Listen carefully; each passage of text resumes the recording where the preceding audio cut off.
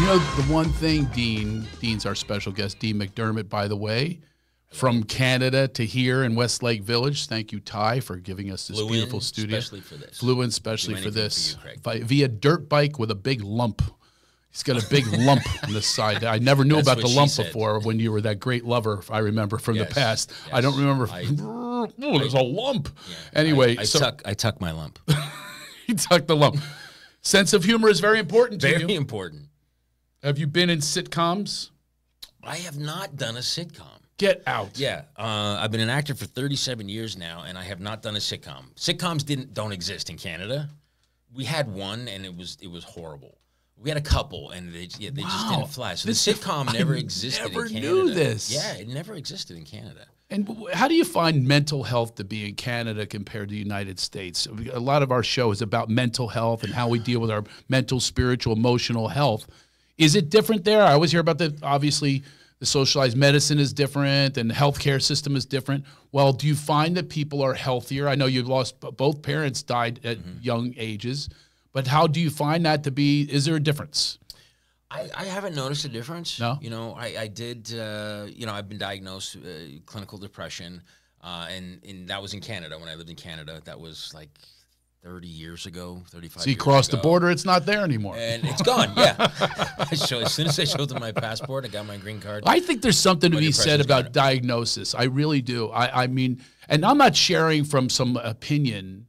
This has been my experience. I was diagnosed with Crohn's disease, for instance. Okay. Now, if I embraced that diagnosis and lived with that diagnosis, what am I telling my body and my mind and my spirit? What am I telling? Oh, yes, you have you this have it? Yeah. Right? And then one day I said, No, you don't. And I started a process of my own recovery in this. And we're going to talk about your alcohol recovery.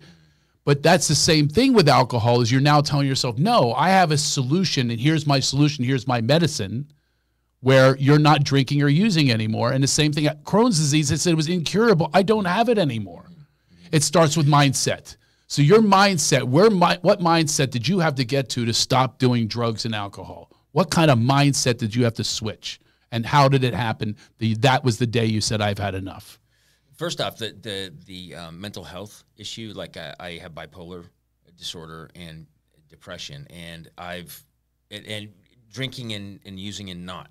You know, I've, I've had I've, I've taken medications in, in both scenarios, and it, it was through trial and error, and not being on them, being on them, being on them sober, being on them in my addiction, that I did narrow it down. That I do need medication. I do have these things, and I understand what you're saying completely because it's almost like once once you're told you have something, then you start- Self-fulfilling prophecy. self-fulfilling prophecy. Yeah, and you start to exactly. believe it, and, Yeah. and I believe in you know when you talk to your body, it, it can go into the cellular level, like negative self-talk. Yeah. You know, I think it goes. Into Well, including diagnosis. And you know, you hear the word bipolar, that bipolar now goes into your cells. Okay, I am. Right. And therefore, I'm not saying that people aren't. I'm saying that I do believe there is a mind over matter thing, and I do believe it starts me- with the mindset. Right. But for me, you know, having that diagnosis and then you know using medication and going off it and using, I, I need it. Mm-hmm. I need it, and I and it's clear that I have bipolar disorder and depression. Now, I- couldn't I, you also say I needed alcohol and drugs? I, I, I Needed it, I, I didn't need it. I needed. but you said that you did at the time. Once I put it in, You said you needed it at the time, right? Isn't that what what propels you into drinking and using? I need this. I need this to medicate myself because I am so miserable. right I'm so the- upset. right out of the gate, it wasn't that. It was you know to, you know, peers to fit in. You know, everybody was drinking. But you needed But it to fit in. but- that's what I'm saying. You Right, I needed, it to fit I in. needed it to to fit You weren't in, not drinking. lubricant. But Right. the difference is, is I have an allergy to alcohol.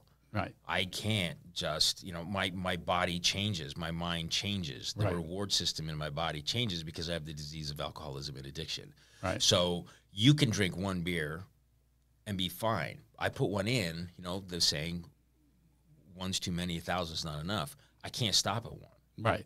You know, so that is It's I the think, behaviors of the the addiction has been but the woken up. behaviors associated with it. That's something that drives one to stop it, and those behaviors, which become masked. Yeah. So my behavior to to, to go back to your question, um, I finally just burnt everything down to the ground yet again for like the fiftieth time. Mm-hmm. You know, since I started blackout drinking at sixteen, you know, anything that I built up for myself, career, relationships, family, wives, friendships, I, I would build up and have this great life. And then I'd burn it to the ground, self destruction, the mindset of Mm-hmm. the self loathing and the hatred for myself. And how have you shipped- spiritual malady, Yeah, the emptiness exactly. that I had in my in, in in my soul wasn't being filled because I I had no self love, I had no self respect, Right. and I didn't want to sit in those feelings anymore. How are you getting that now? How are you getting that self-respect? How are you how have you switched and turned that around? Because it still comes up. It comes It up every does. day. Self-loathing comes up every day. Uh, self-obsession comes up every day. How do you deal with it? Where does it go? You can't just make it go away or say go away. There has to be some process. I have that's the thing is I have to process these things in a different way now. yeah. I can't process life coming at me on, on life's terms the same way I did when I was in my addiction. Because I was just full of anger, hatred, self loathing. So I, I, that's how I would process everything, right? Life would come at me and I would process it and blah, I'd spit it back out as bile right back at you because that's all I had. Mm-hmm. So now having a spiritual practice, having a higher power, turning my will and my life over to the care of God as I understand Him, believing in something greater than myself And- helps and- me, and- gives me hope.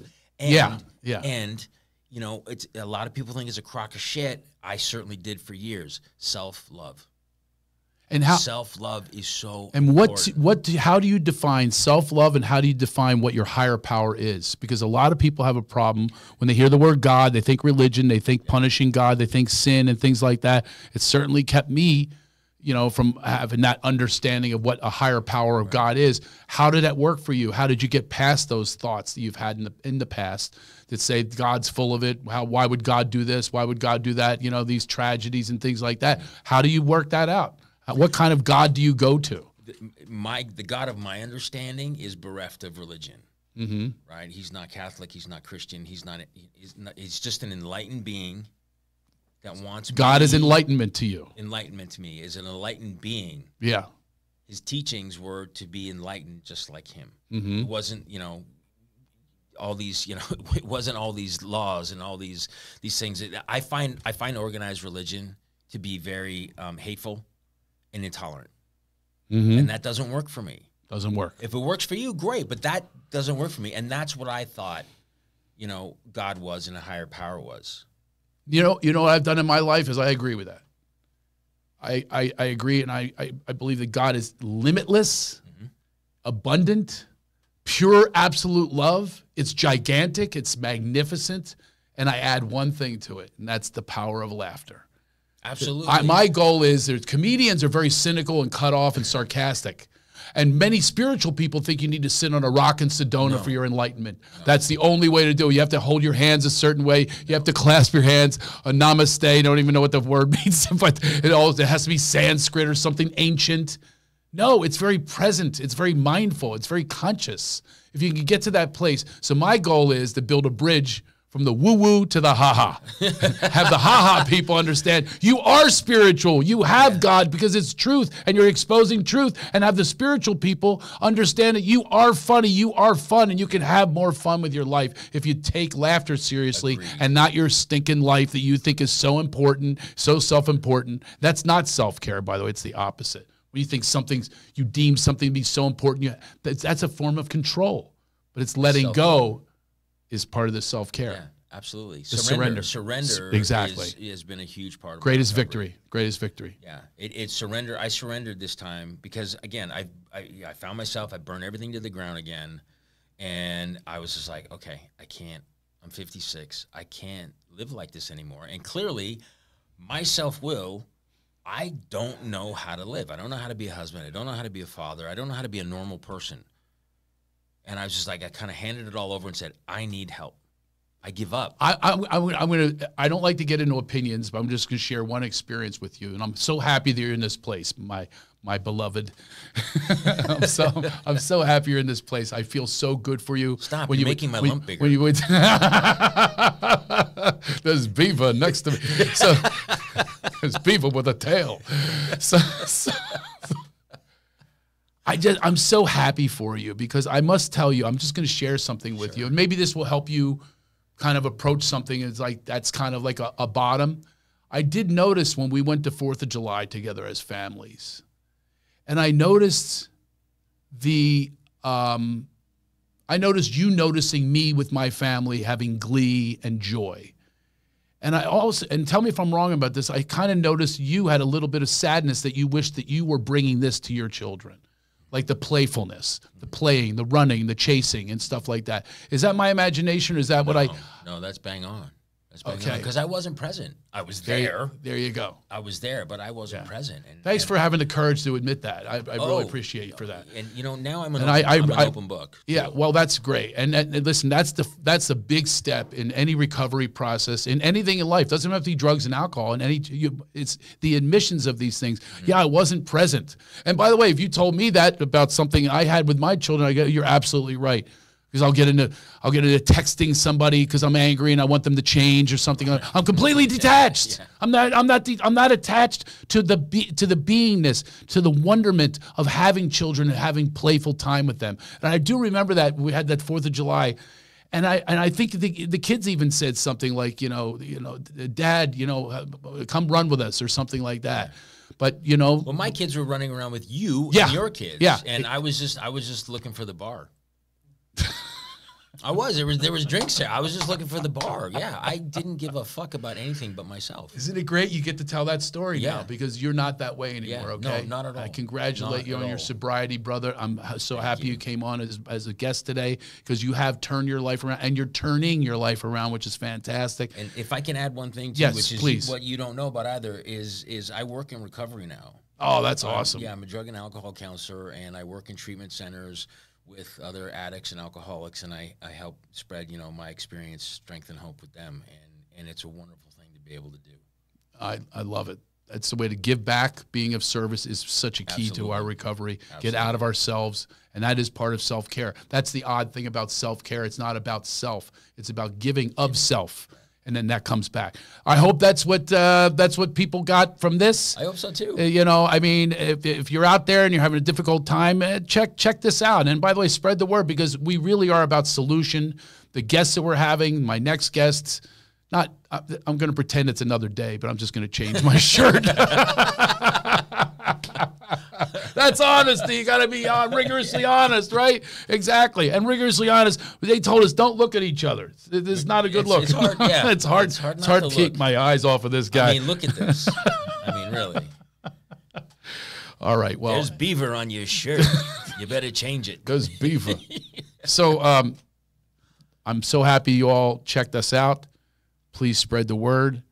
And spreading the word about this isn't something about selfish for me because the intention of this very strong intention is to uh, break free of some of these divisions that we have in life, some of these, these restraints that we put on ourselves and others.